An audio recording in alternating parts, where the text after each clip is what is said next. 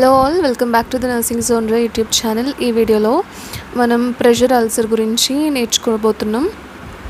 So what is pressure ulcers pressure ulcers are ischaemic lesions of skin and underline tissue caused by the unrelieved pressure that alters the flow of the blood and lymph so pressure ulcers అనేవి skin and underlying టిష్యూస్కి వచ్చి ischaemic lesions అనమాట ischaemic nothing but damage damage టిష్యూలా అయిపోతాయి. Pressure ఉంటాయి ఎందుకు అవుతాయంటే దీన్ని ఏ- ఏం cause చేస్తుందంటే unrelieved pressure that alters the flow of blood and lymph so ఎప్పుడైతే మన స్కిన్ పైన అన్రిలీవ్డ్ ప్రెషర్ అయితే పడిందో అప్పుడు బ్లడ్ ఫ్లో అనేది కానీ లేదంటే లింఫ్ ఫ్లో అనేది కానీ ఆల్టర్ అవుతుంది.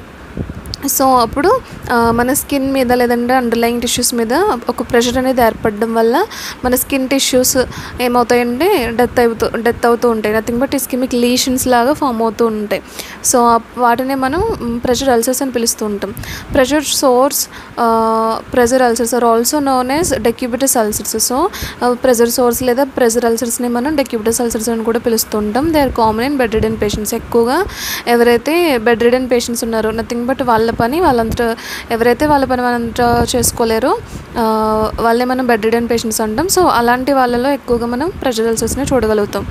So common sides of pressure ulcers ఎక్కడెక్కడ మనం ఎక్కువగా ప్రెషర్ అల్సర్స్ని చూడొచ్చు. దిస్ ఆర్ కామన్లీ అక్కడ ఉందా bony prominences where there is no rich blood supply so majority bony ప్రామినెన్సెస్లో జరుగుతూ ఉంటుందని చెప్తున్నారు.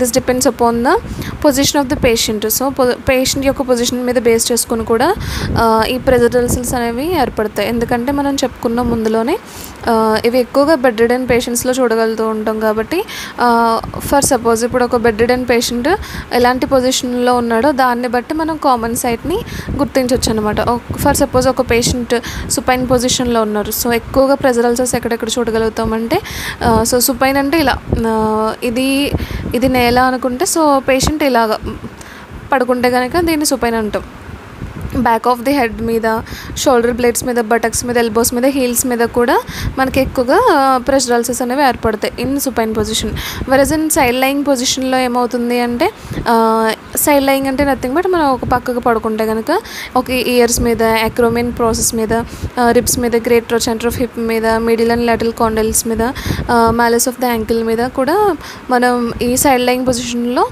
కామన్ కామన్ సైడ్స్ చూడొచ్చు ప్రెజరల్సెస్కి అండ్ అలాగే ప్రో ప్రోన్ ప్రోన్ పొజిషన్ అంటే నథింగ్ బట్ సో ఇది బెడ్ అనుకుంటే మనం హెడ్ హెడ్ హెడ్ హెడ్ని మనం పిల్లో వైపు పెడితే కనుక అది మనం ప్రోన్ పొజిషన్ బోర్లాగా పడుకుంటే ప్రోన్ పొజిషన్ అని చెప్తాం కాబట్టి. సో ఈ ఈ ప్రోన్ పొజిషన్లో మనం ఎక్కడెక్కడ చూడగలుగుతామంటే ears cheeks acromion process breast genitalia knees and toes మీద మనం ఎక్కువగా చూడగలుగుతుంటాం. అలాగే ఇన్ సిట్టింగ్ పొజిషన్ మనం కూర్చున్నట్లయితే స్కాపిలా మీద ఎల్బో దగ్గర సాక్రమ్ ఏరియాలో ఇషియల్ ఏరియాలో బోలో ఫుట్ దగ్గర హీల్ దగ్గర కూడా మనం ఈ ప్రెజరల్సెస్ని చూడగలుగుతూ ఉంటాం అనమాట సో అసలు ప్రెషర్ అల్సర్స్ ఎందుకు వస్తాయి?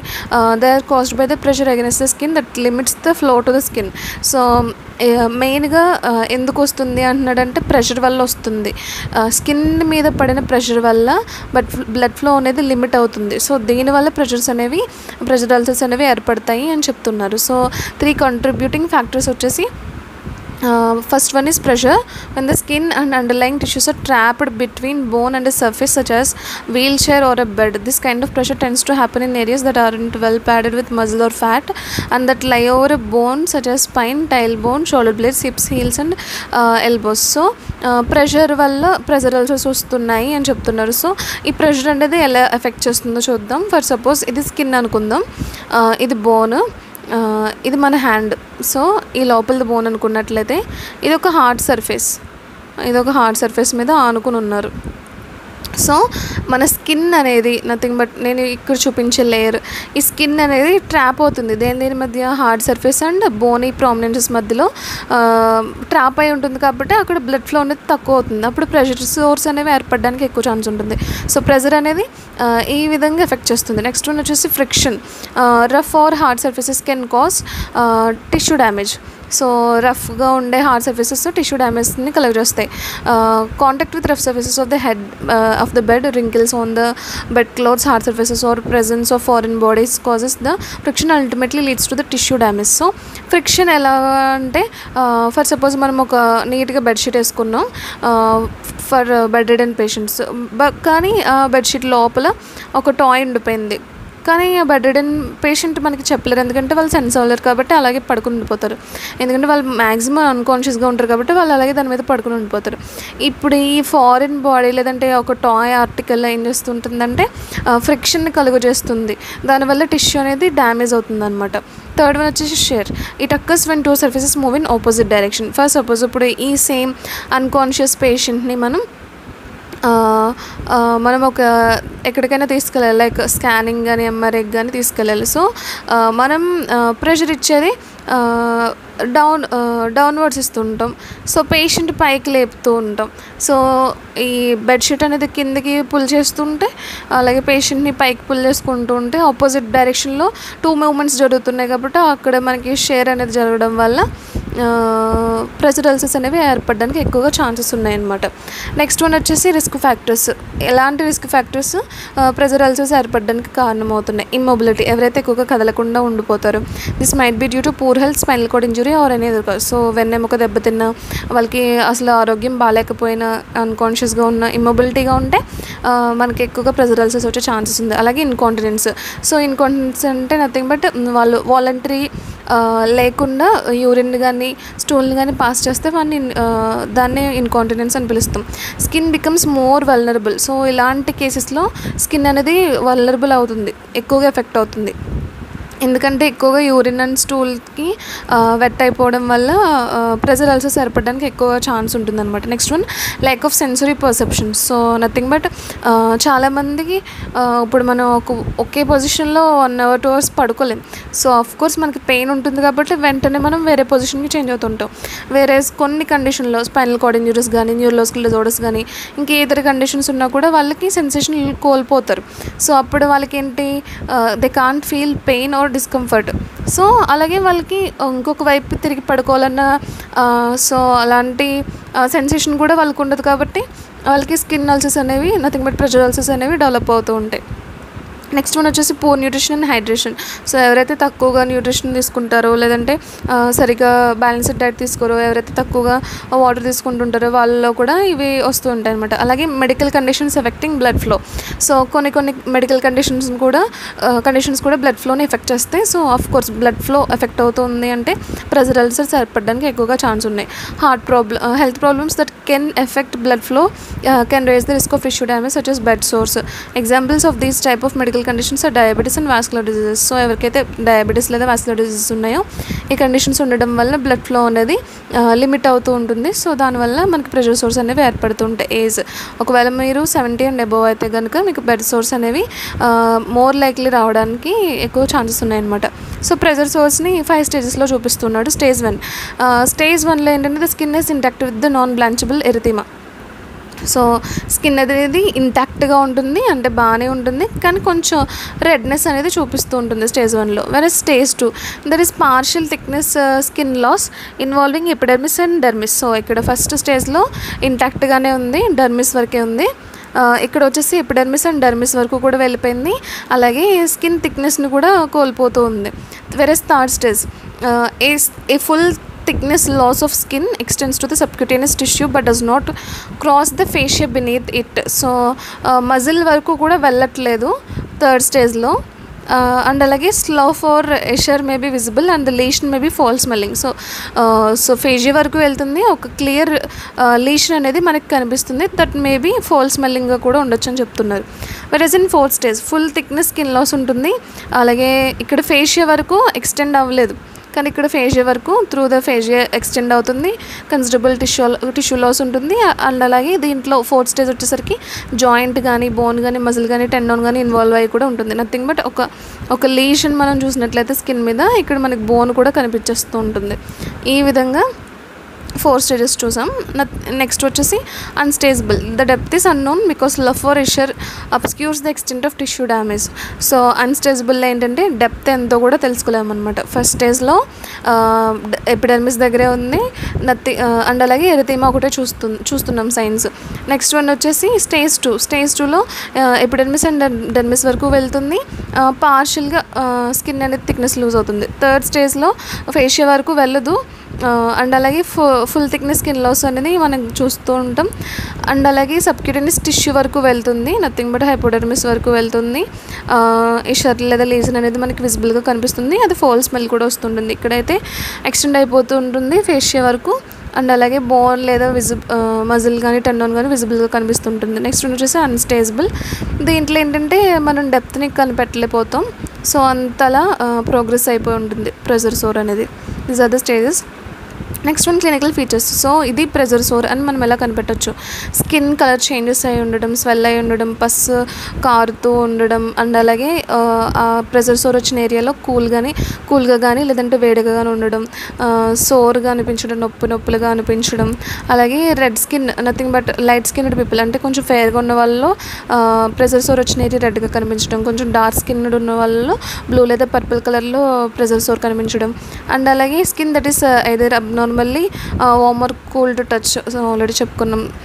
Skin that does not pass the blanching test so first of all మనం బ్లాంచింగ్ టెస్ట్ అంటే నథింగ్ బట్ మన వేల్ని కాసేపు ప్రెస్ చేస్తే అది కలర్ చేంజ్ అవ్వడం కానీ press on the pressing on the skin to see if redness or discoloration appears so first first redness కనిపిస్తుంటుంది. తర్ ఫస్ట్ డిసపియర్ అయిపోతుంది ఏ కలర్ కనిపించకుండా తర్వాత రెడ్నెస్ అనేది కనిపిస్తుంటుంది. సో ప్రెషర్ సోర్స్ ఉన్నప్పుడు ఇలాంటి బ్లాంచింగ్ టెస్ట్ కూడా మనం ఏం చూడలేము అనమాట బ్లాంచింగ్ చూడలేం. పెయిన్ టింగ్లింగ్ ఉంటుంది ఇచ్చింగ్ ఉంటుంది. సో ఈ విధంగా క్లినికల్ ఫీచర్స్ ఉంటాయి ప్రెజర్ సోర్స్లో సో డయాగ్నోస్టిక్ ఇవాల్యుయేషన్స్ వచ్చేసి ఫస్ట్ వన్ ఫిజికల్ ఎగ్జామినేషన్ చేసుకుంటే ఈజీగా విజిబుల్గా మనకి కనిపిస్తూ ఉంటుంది. నెక్స్ట్ వన్ హిస్టరీ కలెక్షన్ చేసుకోవాలి.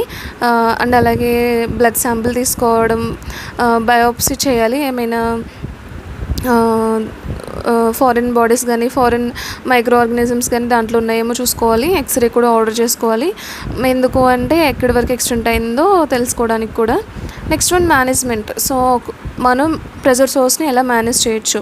The care you need depends on how advanced your bed sore is so స్టేజెస్ని బట్టి మన మేనేజ్మెంట్ ఉంటుంది. Always check with your health care provider to make sure that your receiving the right treatment so ఎప్పుడు కూడా డాక్టర్ని consult చేసి మీరు ట్రీట్మెంట్ని తీసుకోవాలి. If your practitioner diagnosis with an early stage so ఒకవేళ ఎర్లీ స్టేజ్లో ఉంటే కనుక ప్రెజర్ సోర్స్ లేదా bed sores they may recommend the following ఇలాంటివి రికమెండ్ చేస్తారంటే first one relieve pressure on the area so ఒకవేళ మీరు ఎక్కడైతే స్కిన్కి ప్రెషర్ ఎక్కువ పడుతుంది అనుకుంటున్నారో అక్కడ ప్రెషర్ ఉండకుండా ఉండడానికి చూసుకోవాలి. నథింగ్ బట్ పిల్లోస్ యూస్ చేయడం కానీ లేదన్నా ఏదైనా సపోర్ట్స్ యూస్ చేయడం కానీ ట్రై చేయాలి. అలాగే డిఫరెంట్ పొజిషన్స్లో ఉండడానికి ట్రై చేయాలి.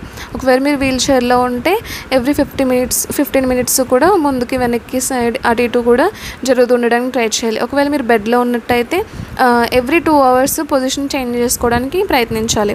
Keep skin clean and dry. So ఎప్పుడు కూడా ప్రెషర్ సోర్ను రాకుండా ఉండాలంటే మైల్ సోప్ లేదా వాటర్ని యూస్ చేసుకోవాలి. జెంట్లీ ప్యాక్ చేసుకుంటూ ఉండాలి. ప్రెషర్ సోర్కి గురయ్యే ప్రోన్ అయ్యే ఏరియాస్ని. If you see signs of start of pressure sore so ఎప్పుడైతే స్టార్ట్ అవుతుందో అప్పుడు మనం మైల్ సోప్ యూస్ చేసుకొని వాటర్తో క్లీన్ చేసుకుంటూ ఉండాలి. ప్యాడ్ డ్రై చేసుకుంటూ. Rinse it with saline for an open sore ఎప్పుడైతే ఓపెన్ సోర్ కనిపించిందో సెలైన్ రిన్స్తో కడగడం స్టార్ట్ చేయాలి. జెంట్లీ ప్యాడ్ చేయాలి. రబ్ చేయకూడదు.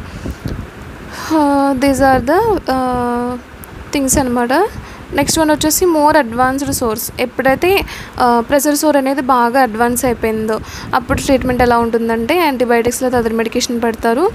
డీప్ బ్రిడ్జ్మెంట్ నథింగ్ బట్ ఏదైతే డెడ్ టిష్యూ ఉందో దాన్ని రిమూవ్ చేస్తారనమాట this procedure removes dead tissue using a scalpel chemical solution whirlpool bath or biosurgery next one వచ్చేసి negative pressure wound therapy this is a method of drawing out fluid and infection from a wound to improve healing so ఎక్కడైతే pus draining అనేది మనం చూస్తూ ఉంటాం pressure సోర్స్లో so ఆ pus అనేది drain out చేస్తారనమాట next skin grafts after removing damage tissue healthy skin is removed from another part of the body and transferred over the pressure sore so మన మన బాడీలోని ఒక హెల్దీ పార్ట్ నుంచి ఒక స్కిన్ని స్కిన్ని కట్ చేసి అది వేరే ప్రెజర్ సోర్ వచ్చిన ఏరియాలో గ్రాఫ్ట్ చేస్తారనమాట దీన్ని మనం స్కిన్ గ్రాఫ్టింగ్ అని పిలుస్తాం. So these are the management అనమాట this about the management next one complications ఒకవేళ ప్రెజర్ ప్రెషర్ సోర్స్ కనుక వచ్చి uh, అన్ట్రీటెడ్గా ఉంటే కనుక పట్టించుకోకపోతే బెడ్ రిడెన్ పేషెంట్ని ఏమేమి చూడొచ్చు? యాబ్సిస్ పస్ పడుతుంది సెల్యులైటిస్ వస్తుంది ఆస్టియోమైటిస్ వస్తుంది uh, సెప్టిక్ అర్థరైటిస్ వస్తుంది నథింగ్ బట్ జాయింట్కి ఇన్ఫ్లమేషన్ వస్తుంది ఇక్కడ బోన్స్కి ఇన్ఫ్లమేషన్ వస్తుంది సెప్సిస్ అవుతుంది విచ్ మేబీ లైఫ్ థ్రెటింగ్ కూడా అవ్వచ్చు. మెనింజైటిస్ లేదా ఎండోకార్డైటిస్ వచ్చే ఛాన్సెస్ ఉంది. లేదంటే ఆ పర్టికులర్ పార్ట్ యాంపిటేట్ చేయడానికి అవకాశాలు కూడా ఉన్నాయి. These are about the complications next one Braden scale Braden scale అంటే నథింగ్ బట్ మనం ఐసీయూస్లో కానీ లేదంటే బెడ్ అండ్ పేషెంట్స్కి ఒకవేళ ప్రెషర్ సోర్ ఉన్నా లేకపోయినా మనం క్యాలిక్యులేట్ చేసుకోవాలి. సో బ్రైడన్ స్కేల్ని ఎలా క్యాలిక్యులేట్ చేస్తారో చూద్దాం ఇప్పుడు. సో ఫస్ట్ వన్ వచ్చేసి సెన్సరీ పర్సెప్షన్ సెన్సరీ పర్సెప్షన్ అంటే ఆ పేషెంట్ పర్టికులర్ పేషెంట్ కంప్లీట్లీ లిమిటెడ్గా ఉన్నారా? వెరీ లిమిటెడ్గా ఉన్నారా? స్లైట్లీ లిమిటెడ్గా ఉన్నారా? లేదంటే అసలు ఇంపైర్మెంట్ లేకుండా ఉన్నారా? So one two three four ఇలా స్కోరింగ్ ఇస్తాం. నెక్స్ట్ వన్ మొబిలిటీ కదులుతున్నారా లేదా? Completely mobile very limited slightly limited లేదా నో లిమిటేషన్సే లేవు అసలు. థర్డ్ వన్ మాయిశ్చర్ ఎలా ఉంటుంది? కంటిన్యూస్గా మాయిస్ట్గా ఉంటుందా? వెరీ మాయిస్ట్గా ఉంటుందా? అకేషనల్లీ మాయిస్ట్గా ఉంటుందా? రేర్లీ మాయిస్ట్ అవుతుందా? నెక్స్ట్ వన్ న్యూట్రిషన్ వెరీ పూర్గా ఉంటుందా? ప్రాబబ్లీ అడిక్వేట్గా ఉంటుందా ఎడిక్వేట్గానే ఉంటుందా ఎక్సలెంట్గా ఉంటుందా? నెక్స్ట్ వన్ యాక్టివిటీ ఎలా ఉంటుంది? బెడ్ ఫాస్ట్గా ఉంటున్నారా? చైర్ ఫాస్టా అప్పుడప్పుడు నడుస్తున్నారా? లేదంటే ఫ్రీక్వెంట్గా నడుస్తూనే ఉన్నారా? Next one friction and shear ఎలా ఉంటుంది? పొటెన్షియల్ ప్రాబ్లం ఏమైనా ఉందా? అసలు ప్రాబ్లమే లేకుండా ఉన్నారు. సో ఈ విధంగా స్కోరింగ్ అనేది ఇవ్వడం జరుగుతుంది. ఫస్ట్ సపోజ్ పేషెంట్కి వచ్చేసి సెన్సరీ పర్సెప్షన్ అనేది స్లైట్గా లిమిట్ అయి ఉంది. నెక్స్ట్ వన్ మొబిలిటీ అనేది కొంచెం ఇది కూడా స్లైట్లీ లిమిటెడ్ ఉంది. మాయిశ్చర్ వచ్చేసి ఒకేషనల్లీ మాయిస్ట్ అవుతుంది. న్యూట్రిషన్ వచ్చేసి ఎడిక్వేట్గా ఉంది బాగానే ఉంది. యాక్టివిటీ వచ్చేసి ఒకేషనల్గా నడుస్తున్నారు. ఫ్రిక్షన్ షేర్ వచ్చేసి అంత ప్రాబ్లమే లేదు. So one two three four five six six threes eighteen so eighteen వచ్చేసి ఇక్కడ మనం చూస్తున్నాం. సో ఈ పేషెంట్కి మైల్డ్ రిస్క్ ఉందని చెప్పొచ్చు. సో ఈ విధంగా మనం బ్రాడెన్ స్కేల్ని క్యాలిక్యులేట్ చేసుకోవచ్చు. సో ప్రివెన్షన్ ప్రెజర్ సోర్ని మనం ఎలా ప్రివెంట్ చేసుకోవచ్చు? Frequently changing your position to weight stress on the skin ఎక్కువగా పొజిషన్స్ చేంజ్ చేస్తూ ఉండాలి especially second secondarily positions change చేస్తూ ఉండాలి. Take good care of your skin మంచి కేర్ తీసుకుంటూ ఉండాలి. Eat and drink regularly quits smoking manage stress exercise daily checking the skin regularly for early signs of bed sores remaining active. Even if this means doing easy physical exercise while in bed or sitting in a chair uh, keeping the skin clean and dry avoiding cigarette smoking eating well and staying hydrated so ఇవన్నీ పాటిస్తే మనం pressure source రాకుండా మన పేషెంట్ని లేదా మనల్ని కాపాడగలుగుతాం అనమాట so thanks for watching this video and also do subscribe to this channel మీకు ఈ వీడియోలో ఉన్న కంటెంట్ మీకు అర్థమైందని అనుకుంటున్నాను. Thanks for watching again